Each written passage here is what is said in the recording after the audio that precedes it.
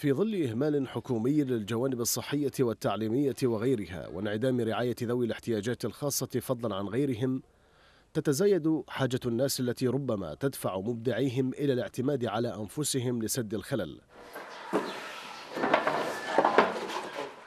الحاج محمد سعد دبين نجار من قضاء الكوت في محافظة وسط يتبرع مجانا لعمل مقاعد دراسية وتجهيز الكثير من مدارس المحافظة بما تحتاجه من مستلزمات تعتمد في تصنيعها على الخشب حتى وصل عدد المقاعد الدراسية التي صنعها إلى سبعة آلاف.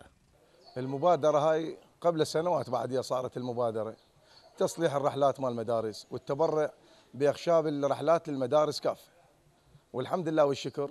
يعني ما أريد أقول لك أنا وإخواني ما خلينا مدرسة ما تبرعنا لها بأخشاب الرحلات كل المدارس في محافظة واسط مبادرة الحاج محمد لم تقتصر على المدارس وحسب بل شملت التبرع بأجهزة للعلاج الطبيعي الخاصة بالمعاقين في محافظته ومحافظات أخرى. فسد الفراغ الذي خلفه الفساد المؤسساتي والفشل الإداري الحكومي. الحمد لله والشكر. قمت أسوي ولدنا هنا بالمعمل وإخواننا قمنا نصنع الأجهزة.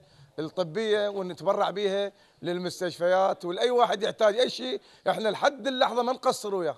يسمعون العالم كله. مو أقول لك محافظة واسط قضاء الكوت المحافظة وأي محافظة وأي واحد أي مبادرة أي فكرة عندنا إحنا نصنعها. عندنا ولد هنا ما شاء الله ولدنا يعني ما يقصرون. من الخشب. الرسالة التي تنطوي عليها مبادرة الحاج محمد ربما لا يفهمها سياسيو العراق اليوم. لأنها رسالة إنسانية بعيدة عن الوادي الذي يهيمون فيه. بالوقت اللي المسؤول يسرق يسرق قوت الشعب ويسرق احتياجات الشعب لا مواطن مواطن ابن مدينة ومواطن نظيف ونزيه وكفؤ يتكفل بالمحافظة وبتجهيز الطلاب المدارس. حقيقة هاي رسالة إنسانية كاملة. الحكومة التي عجزت عن الوقوف موقف الحاج محمد وغيره من مبدعي العراق أو حتى دعمهم ستعجز أيضا عن شكره وشكر أمثاله. ومن لا يشكر الناس لا يشكر الله.